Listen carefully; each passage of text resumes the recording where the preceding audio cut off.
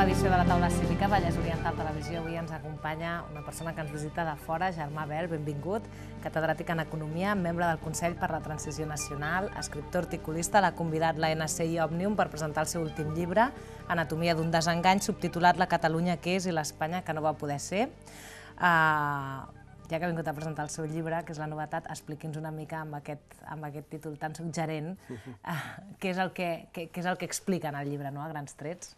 El llibre el que intenta és entendre i explicar quins són els motius fonamentals que expliquen que hagi crescut eh, tan ràpidament i en un espai de temps relativament curt el suport a la, a la constitució d'un estat independent a Catalunya i analitzar els diferents factors que poden haver ajudat a, o que poden haver eh, provocat això. I llavors se re, repassen diferents qüestions relatives a polítiques, a funcionament d'organitzacions, a relacions entre Catalunya i Espanya, etc., per intentar donar una explicació al fenomen. I per què creu vostè doncs, que, que hi ha hagut aquesta crescuda? És, és conjuntural o és uh, per sempre, diguéssim? Aquesta és la segona qüestió que s'adreça. La primera, que crec que té una resposta més sòlida, és, la, la meva interpretació, l'explicació fonamental, no la única, perquè no hi ha cap factor que tingui important, no hi ha cap canvi important que tingui una única explicació, però per mi la principal és eh, el fet de que una gran part dels catalans i catalanes que tenien les esperances depositades en la idea de que pogués haver un canvi a Espanya, una transformació de les estructures de l'Estat que poguessin encaixar bé a Catalunya com a realitat nacional, han arribat a la conclusió de que aquest canvi no és viable políticament i una gran majoria dels catalans que ten, pensaven que aquest era el camí adequat i que han arribat a la conclusió de que no és viable, davant de l'opció que entenen que hi ha entre l'assimilació a la realitat nacional espanyola o la constitució d'un estat nou, fan l'opció de la constitució d'un estat nou. Uh, per tant, és fill d'alguna manera o és producte d'alguna manera del fracàs, de la frustració del procés de canvi de les estructures d'estat d'Espanya. Conjuntural o, o permanent, uh, això es fa més difícil de saber, perquè això voldria dir mirar cap al futur. La meva interpretació és que, uh, en la mesura en què hi ha molta gent uh, que no només quan els hi pregunten si estan a favor de la independència sí o no, sinó quan poden triar entre diferents opcions, entre l'estat independent, l'estat federal, l'estat autonòmic o un estat centralitzat, directament trien la independència, el percentatge de catalans que directament trien la independència és quasi la meitat, encara que puguen triar altres opcions, a mi em fa la impressió de que és un canvi de tipus permanent que ha vingut per quedar-se, eh, perquè crec que hi ha molta d'aquesta part de la societat catalana que ja no, no, no tornarà a creure en la possibilitat de fer un canvi a Espanya sobre les mateixes bases que s'estan provant. I quin paper juga la crisi en tot això? Crec que la crisi hi ha alguna gent que l'ha inter, interpretat com una causa, crec que alguna, alguns analistes, sobretot jo crec més fora de Catalunya, entenen que, que la gent està irritada per la crisi, ara està irritada per la crisi, busquen noves perspectives.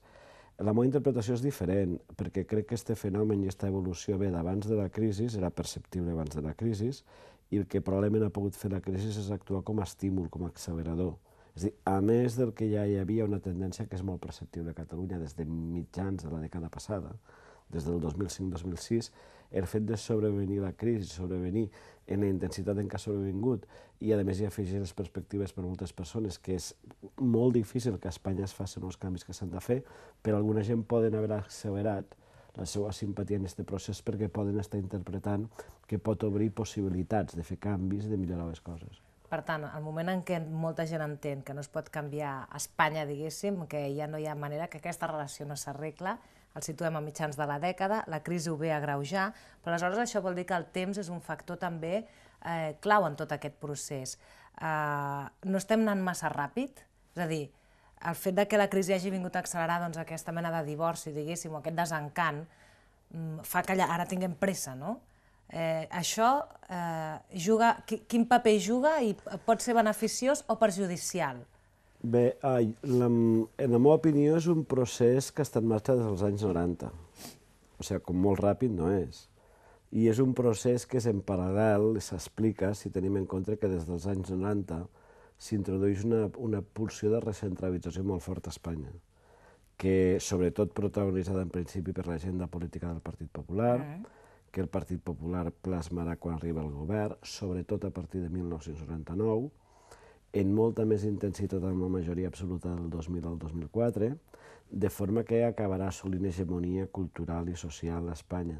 Per tant, jo crec que el procés de recentralització i aquesta dinàmica s'estan produint des dels anys 90. Uh -huh. El que ha passat en els darrers anys és que probablement s'ha accelerat perquè, d'alguna forma, el fracàs de l'Estatut, des de l'inici de la seva concepció del 2003 fins a la sentència del Tribunal Constitucional del 2010, és el que alguna gent, atès aquesta dinàmica, li han fet arribar a la conclusió de que per la via que anàvem no es podia ser.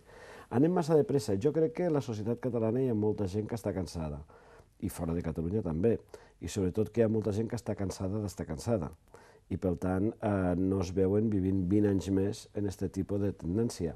A partir d'aquí, el presses, no presses, els ritmes, Uh, els ritmes fa dos tres anys ja no venen tan marcats només bàsicament o bàsicament pel sistema polític català, sinó també pel desig d'una part important de la societat catalana que vol avançar en aquest camí. Eh, són dinàmiques que no són dinàmiques d'una part, que depenen de dues parts, i ara, jo no, no, com no crec que és algo que estigui passant fa dos anys, no crec que estiguéssim davant d'una cosa molt ràpida. Uh -huh. Crec que el que tenim és una acceleració en una fase ja més recent en què s'han de buscar sortides a la solució, o s'han de trobar sortides a la solució. Si el govern d'Espanya ara no fos una majoria absoluta del PP, les coses serien molt diferents?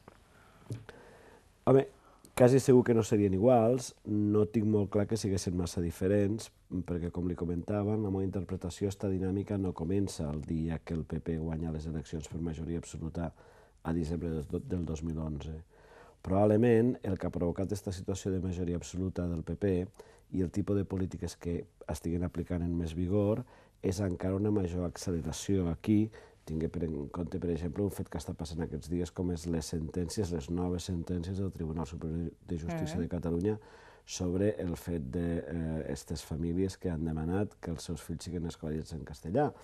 Clar, llavors ens trobem en aquesta situació que no, no, no, no es pot eh, fer una consulta perquè la majoria de catalans diguen el que volen, o perquè los, la majoria de catalans diguen el que volen, sigui el que sigui, però una família pot canviar la llengua en la que s'ha escolaritzat tota la resta de fills a les aules. Això el que fan probablement, aquest tipus de política, probablement el que està fent és accentuar la voluntat de molta gent de canviar i, a més, accentuar la idea de que és un procés que no pot durar indefinidament també el propi fet de que no s'hagi establert cap marc de negociació concreta, de, de conversa concreta, de diàleg concret, que pogués eh, encausar d'alguna forma este, este, este conflicte, és un conflicte, no? Uh -huh. Si hi hagués aquest marc de, de conversa, si hi hagués diàleg, si algun dels partits majoritaris a Espanya, que sembla que el PSOE potser ho està començant a, a, a, a, a demanar, apostés certament doncs, per, per dialogar, mm, ens situaríem en un escenari molt diferent els partits catalans actuarien diferent? El president Mas actuaria diferent si de sobte hi hagués voluntat de diàleg?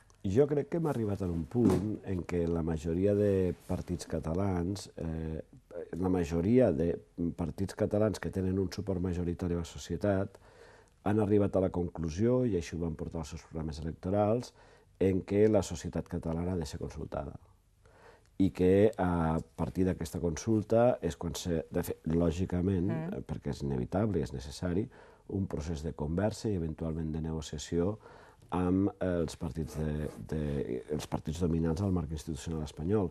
Jo crec que la via que s'havia fet sempre era d'intentar arribar a algun acord que sovint ha acabat en malentesos i que després la societat entomava, eh, és un camí que molta gent ja no està disposada a córrer de nou, per això crec que és, és tan majoritària. És molt més majoritària del que puguen ser fins i tot els partits que han signat la consulta, eh, la consulta mm. i la data, la noció de que ara toca fer saber, ara toca saber l'opinió dels catalans i a partir d'esta opinió és quan les institucions polítiques de Catalunya i les institucions polítiques de l'estat espanyol s'han de sentar i trobar una sortida a les aspiracions majoritàries dels, dels catalans, siguin les que siguin, tenint en compte la, que en aquest moment Catalunya està inserida al malestat espanyol. Però si no m'equivoco, vostè diu que l'opció és una consulta legal i acordada. No, jo, jo, no? jo, jo, jo sempre he pensat que era inviable una consulta legal Val. i acordada. Per què? Perquè crec que el que estem discutint primordialment no és una qüestió de si Catalunya esdevindrà independent o no, sinó el que estem discutint eh, primordialment és si Catalunya és sobirana, és, és, és una nació, uh -huh. és un país que pot fer un exercici de sobirania establint la voluntat de quin ha de ser el seu futur. Eh, la forma en què t'organitzes a nivell d'estat i la relació amb un altre estat pot ser objecte de negociació, pot ser objecte d'acords. A qui li toca decidir quin és el futur de Catalunya si el conjunt de la població espanyola o el conjunt de la població catalana és molt més difícil que sigui un objecte d'acord, perquè o ho decideix el conjunt de la població espanyola o ho decideix el conjunt de la població catalana, siga quina sigui la decisió que es prengui. Per això, en matèria de qui ha de decidir, qui ha d'exercir la sobirania, és tan difícil que hi hagi acord, per això sempre m'ha semblat que, en, com a Espanya no és Gran Bretanya ni Canadà, que era inviable pensar, tot i que s'havia de provar en la possibilitat de que hi hagués una consulta acordada amb el govern central i amb les institucions centrals.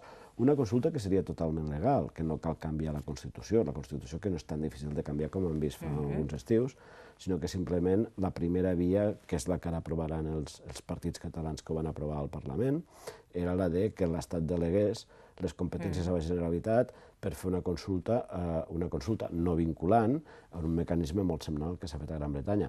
Jo mai he tingut la perspectiva de que això sigui una via viable, però és una via que s'ha de recórrer. És, és el primer pas que s'ha de fer, és intentar fer aquesta consulta dins del marc de la legalitat estatal. Però si ja anem pensant que no serà viable, molts de, diran, doncs no cal ni que perdem el temps, que de fet és el que està passant, intentant-ho, no? És, jo crec que és molt important fer les coses ben fetes. Eh, és molt important fer les coses ben fetes i això eh, entraria dins del catàleg d'algo que comentàvem abans a dins, a, abans, que jo no crec que sigui un procés que s'està fent en pressa i tampoc cal portar més pressa de la que mana fer les coses ben fetes. I fer les coses ben fetes significa, en primer lloc, intentar-ho fer en un acord amb les institucions polítiques espanyoles i, eh, i que eh, es clarifique, quede clar, si no és possible aquest acord, eh, quina és la part que fa impossible l'acord, amb tots els respectes que puguin haver les motivacions per a que no hi hagi l'acord. Però jo crec que és un procés que hem de fer en, en bona lletra, a poc a poc i en bona lletra, a poc a poc no vol dir molt a poc a poc, eh? a poc a poc i en bona lletra, perquè Catalunya és un petit país que no té molt poder, però un, del, un dels poders que sí que tenim és fer les coses ben fetes. Uh -huh. això, això, no, això no ens ho pot impedir ningú. Altres poders molts no tenim. I la seqüència és aquesta. En primer lloc, intentar fer una consulta en el marc definit de la legalitat espanyola. Si això no és viable, i, i, és, no és viable quan et diuen que no, i la resta del nostre entorn, sobretot l'europeu, entén que no és viable quan ho has demanat i et diuen que no, llavors anar per la via d'una consulta en el marc de la legalitat catalana, que és algo perfectament previst en l'Estatut. I això obre un nou camí que veurem cap a on porta. Ah, per tant, ens situem en aquest escenari eh, immediat, diguéssim, del 2014, consulta convocada pel 9 de novembre, si no es pot fer, eh, possiblement eleccions plebiscitàries, ja veurem què passarà. No? Què creu que passarà durant aquest 2014? Què passarà a partir del setembre, a partir del novembre? Bé, tinc en compte que els economistes hem de privar-nos una mica de dir el que passarà perquè quasi sempre l'equivoquem, no? Per tant, és, és, és molt natural que, que, que els, la gent de Catalunya, tots els catalans, pensin el que pensin, vulguen una mica més de seguretat en, en les coses que passaran. Això és algo que els hi passa a totes les societats en un moments tan complexes com els actuals, aquí, a Alemanya i Estats Units. Jo crec que al final del 2014, si els catalans no han pogut fer saber la seva opinió respecte a les seues preferències constitucionals, sabrem quan les, quan les farem. Quan la, o sigui, a final del 2014 haurem fet saber la nostra opinió o sabrem quan i com farem saber la nostra opinió. I què vol dir això? Sabrem quan i com, és a dir... Clar, que vostè, estem comentant ara mateix, coses, no? estem comentant ara mateix si hi haurà una consulta acordada amb l'Estat o no, la meva perspectiva és que això és pràcticament inviable, si hi haurà una consulta entre cometes tolerada per l'Estat en el marc d'una legalitat catalana, això ho veig altament improbable, i en darrera instància si hi ha unes eleccions autonòmiques que són una cosa que no té cap impediment mm. legal de cap tipus ni pot ser objecte de cap recurs constitucional. Crec que a final de l'any, si no han votat, si el 9 de novembre no hi ha hagut la consulta, que és una que no sé, el que sí que sabrem és quan i com farem saber la nostra opinió, perquè, com s'ha dit, la consulta per un cantó o per un altre serà feta.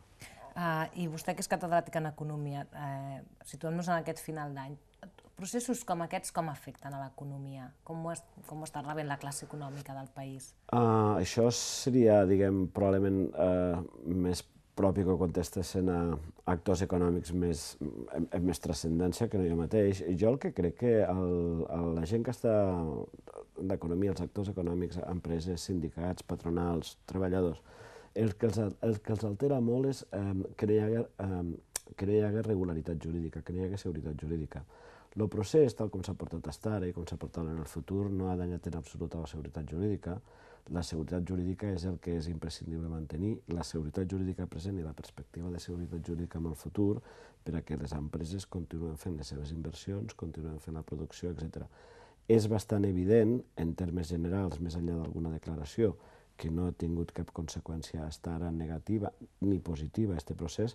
Recorde que eh, Catalunya l'any 2013 és la comunitat espanyola que d'Espanya que ha creat treball en termes nets en major quantitat, és quasi l'única que ha creat molts de llocs de treball.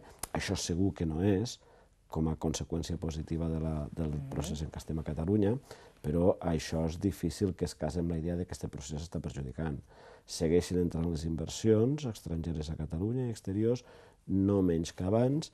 Eh, repeteixo, el que és molt important no és el que estiguem discutint els catalans, el més important és la perspectiva, que este conjunt, este procés de discussió i les perspectives de futur mantingui la noció de seguretat jurídica, d'un marc en el que les empreses puguen tenir una certa previsió, que el que són les dinàmiques de mercat, les dinàmiques de comerç, se mantindran sense alteracions.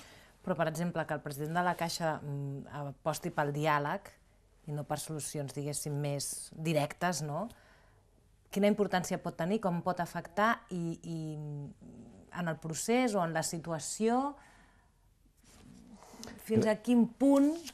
Però jo crec que quasi no hi ha ningú que aposte pel diàleg, no? sobretot des de Catalunya, tant dels sectors empresarials com dels sectors Però polítics. Però Isidre Feina ho va dir. Sí, sí, i, i, i més gent, també el president de la Generalitat, també els principals eh, partits polítics de Catalunya, però diguéssim que han assumit que la cosa va i bueno, anem fent i, i que no ens alteri els nostres negocis i que no alteri l'economia i anem fent, ja veurem. Clar, no fa por ja, diguéssim. Jo, jo crec que els sectors empresarials el que tenen molt d'interès, i és lògic com dir abans, és que el procés polític que hi hagi no altera els elements bàsics del funcionament de l'activitat econòmica.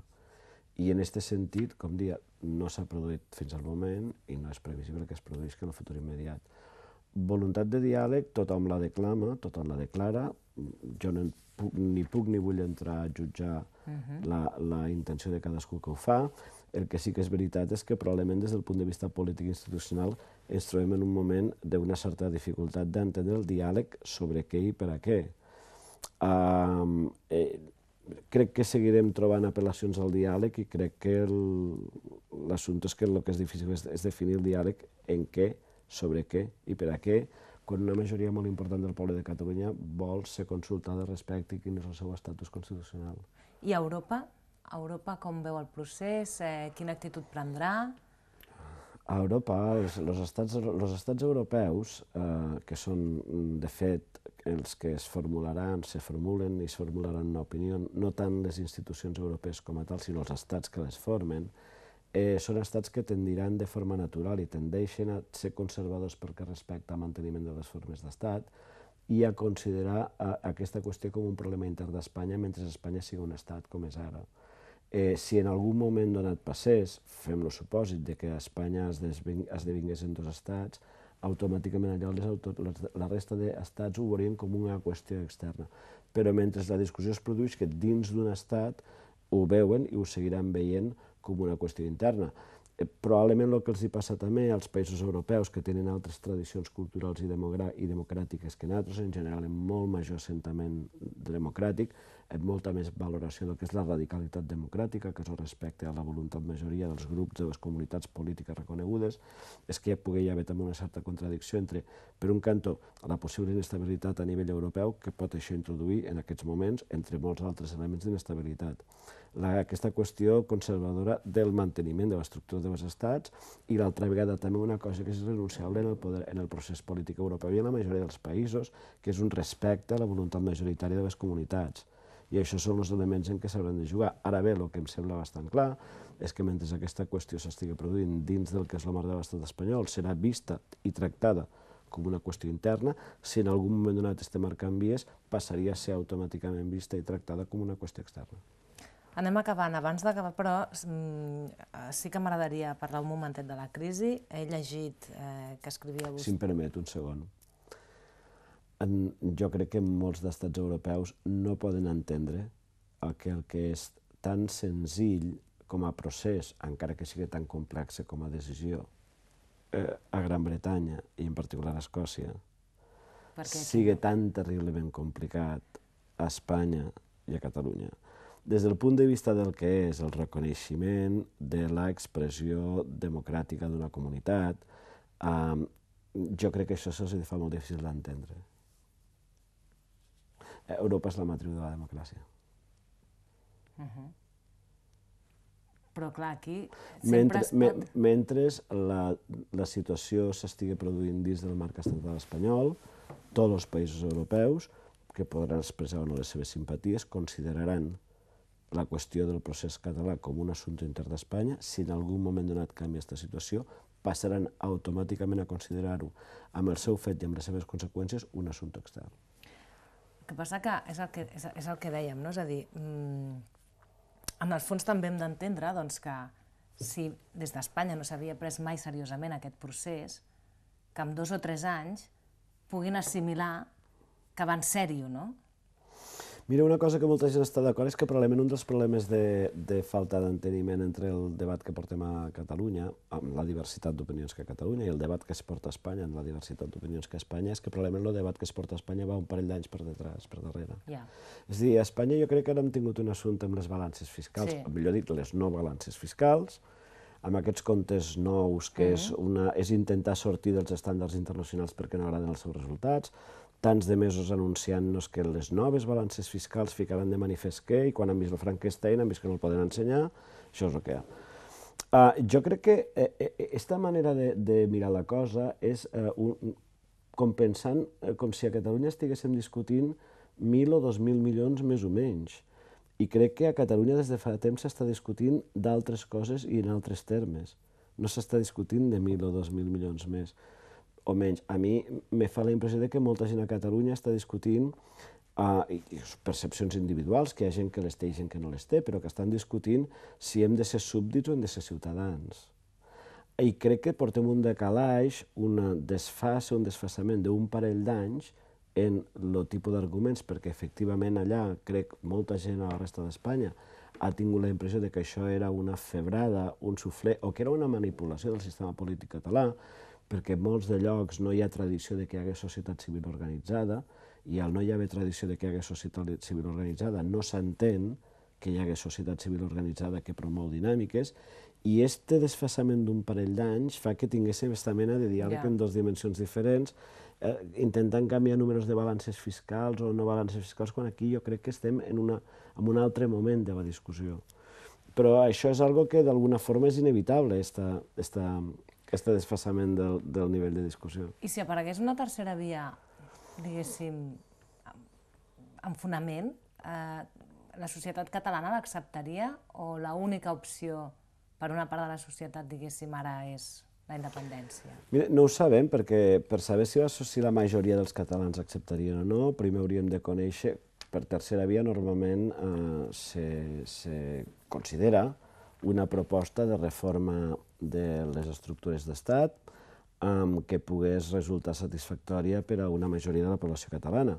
El que sí que sabem, um, lo que sí que sabem és que això, això ho creu quasi tothom a Catalunya, és una proposta que en tot cas ha de sortir de les institucions catalanes, que, de les institucions espanyoles, que no té cap credibilitat per manca de poder si és emanada des de Catalunya, això ho sap fins i tot la gent que ha estat més in, esforçada en promoure una tercera via, que em sembla legítim, eh, este moviment no l'hi ha, perquè tinc en compte que jo crec que hi ha un element que és molt important en el procés social i és que molta part de la societat catalana ha acumulat molta desconfiança respecte de que tornar-ho a intentar sobre les mateixes premisses no porta als mateixos mals entesos de sempre i a un procés d'encara estar més esgotats d'estar esgotats. Per tant, eh, si eh, hi ha una proposta molt clara de reforma constitucional, de reforma constitucional en determinats eh, aspectes, que a més no pogués ser després unilateralment eh, eliminada, com va ser l'Estatut, i no estic comparant en l'Estatut, sinó en el procés, és algo que probablement la societat catalana podria pronunciar-se al respecte, perquè el que jo crec que és irrenunciable per la majoria de catalans és que decid, decidirem el que volem ser. De moment, aquest tipus de proposta ni es veu ni s'alvira, però amb el futur no podem predir exactament el que passarà perquè sempre ens pot donar sorpreses. Molt bé, doncs acabem amb aquesta no predicció i òbviament que tots estarem atents a veure el que passa. Moltes gràcies, Armabel, per haver vingut a Vallès Oriental Televisió i fins la pròxima. Moltes gràcies.